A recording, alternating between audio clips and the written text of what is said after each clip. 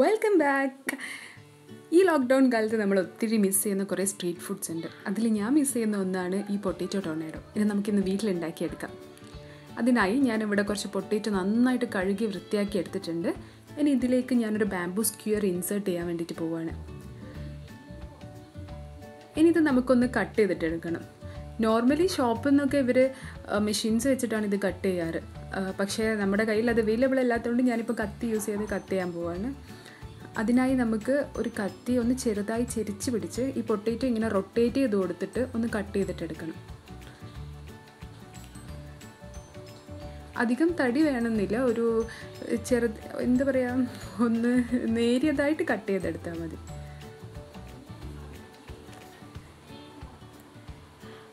അപ്പോൾ ഞാനിത് മൊത്തമായിട്ട് ഇവിടെ കട്ട് ചെയ്തെടുത്തിട്ടുണ്ട്. ഇനി നമുക്കിതിനെ ഒന്ന് വിട്ട് കൊടുപ്പിക്കണം. ഇങ്ങനെ ചെറുതായിട്ടൊന്ന് വലിച്ചു കൊടുക്കുക. ബ്രേക്ക് ചെയ്യാണ്ടിരിക്കാൻ പ്രത്യേകം ശ്രദ്ധിക്കണം കേട്ടോ.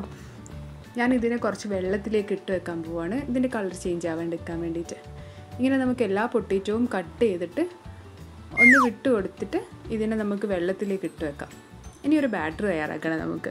അതിനായി ഞാൻ ഇവിടെ ഒരു മൂന്ന് ടേബിൾ സ്പൂൺ മൈദയും മൂന്ന് ടേബിൾ സ്പൂൺ കോൺഫ്ലവറും ഒരു അര ടീസ്പൂൺ മുളക് പൊടിയും പാകത്തിന് ഉപ്പും പിന്നെ ഒരു അര ഗ്ലാസ് വെള്ളവും കൂടി ഇട്ട് നന്നായിട്ടൊരു നന്നായി യോജിപ്പിച്ചൊരു ബാറ്ററാക്കി എടുക്കുന്നുണ്ട്. ഇനി നമ്മുടെ പൊട്ടേറ്റോ നമുക്ക് ഈ ബാറ്ററിലൊന്ന് ഡിപ്പ് ചെയ്തിട്ടെടുക്കണം. അല്ലെങ്കിൽ ഇതുപോലെ കോരി ഒഴിച്ചു കൊടുത്താലും മതി.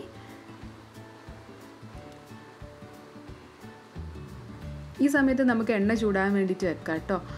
അങ്ങനെ ചൂടായ എണ്ണയിലിട്ടിട്ട് ഇതൊന്ന് ഫ്രൈ ചെയ്തിട്ട് കോരിയെടുക്കണം. രണ്ട് വശവും നന്നായിട്ട് മൊരിഞ്ഞ് വരുന്നവരെ ഹൈ ഫ്ലെയിമിൽ വെച്ചിട്ട് ഒന്ന് ഫ്രൈ ചെയ്തിട്ടെടുക്കാം അപ്പോൾ നമ്മുടെ പൊട്ടേറ്റോ ടൊർണേഡോ ഇവിടെ റെഡി ആയിട്ടുണ്ട്. ഇനി ഇതിലേക്ക് ഞാൻ കുറച്ച് ചില്ലി പൗഡറും കുറച്ച് ചാട്ട് മസാലയും കൂടി സ്പ്രിങ്കിൾ ചെയ്ത് കൊടുക്കാൻ പോവാണ്. ഇത് പിന്നെ അവസാനമായിട്ട് കുറച്ച് മയനൈസും കുറച്ച് കെച്ചപ്പും ഇത് നല്ല ചൂടോടെ കഴിക്കാനാണ് ഏറ്റവും രുചി. ഇത് പ്രത്യേകം ശ്രദ്ധിക്കണം. അപ്പോൾ പെട്ടെന്ന് പോയി ഉണ്ടായിക്കോളൂ. ഈ വീഡിയോ ഇഷ്ടമായ ലൈക്ക് ചെയ്യാനും കമന്റ് ചെയ്യാനും സബ്സ്ക്രൈബ് ചെയ്യാനും മറക്കരുത്. വേറൊരു വീഡിയോ ആയിട്ട് കാണുന്നവരേക്കും this is Meenishi signing off take care